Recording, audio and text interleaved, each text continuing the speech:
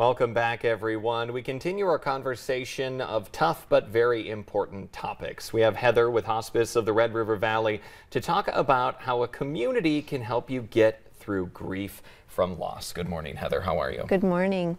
Well, it's wonderful to have you here. This topic is a sad and difficult one, but a very important one. And before we get into that, though, for people who aren't quite sure what hospice is, how would you describe that work? Hospice is really providing comfort and dignity at the end of one's life. And oftentimes there's that myth that we get involved at the very end of one's life, but we really do like to get involved early on and be able to meet with our families, support them through the process, and really help to, our patients to live their best days. I think that's what everyone wants too, to have everyone uh, live uh, happy and peaceful days as long as they can. And so the topic of grief, you encounter it a lot uh, in that line of work. What advice do you have or general guidance do you have for people when it comes to experiencing grief?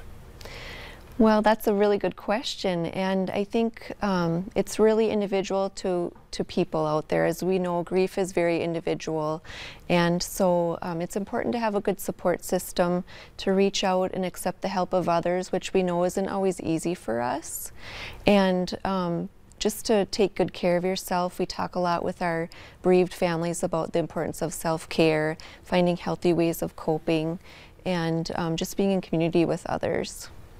So that last part you said, they're being in community with others. How does hospice help in creating that community? Yeah, so we do that by a number of ways, including um, our grief support groups, which we run monthly.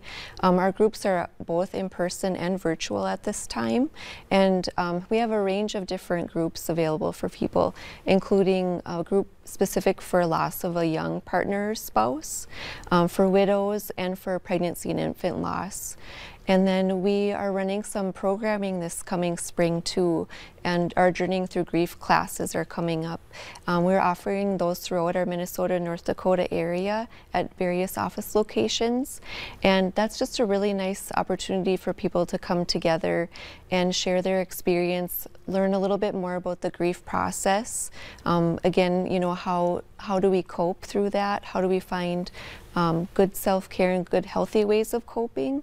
and also to, to learn how to move forward with our grief and um, do that by honoring and remembering our loved ones.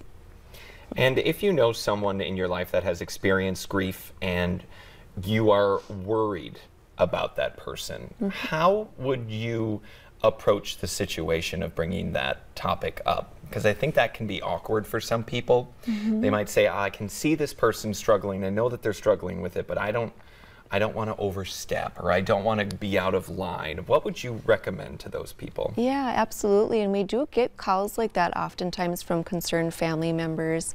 And so we talk through them, you know, on, on ways that they can support their, their loved one that they're concerned about. Oftentimes just showing up and being there for them is really important. We don't always have to have the right words. Oftentimes there are no right words, right? So uh, it's just being there, being present, being really willing to journey that process with them. Um, we can help out by doing things around the home, maybe inside or out, um, picking up some tasks for them that maybe are hard for them to accomplish at that time, um, and also encouraging them to reach out to talk with someone, whether it's a professional, um, clergy, you know, someone that they feel comfortable with. And if people are looking to get more information about a variety of the classes that you have or looking to get advice, mm -hmm. how, how can they get a hold uh, of either you or someone with hospice? Yeah, so you can um, look at all of our grief support programming on our website, which is www.hrrv.org. Um, you can also contact us at our 800 number, which is 1 800 237 4629, and ask to talk to the Grief Support Department. Grief Support Department. Okay. All good advice here and a wonderful organization. And from my, what I understand as well, they accept they can always accept donations as well if you would like to support their mission. Yeah, absolutely. Okay. Oh, well, wonderful things here. An important need that is filled in our community. So thank you for coming on today. Yeah, thank you for having me.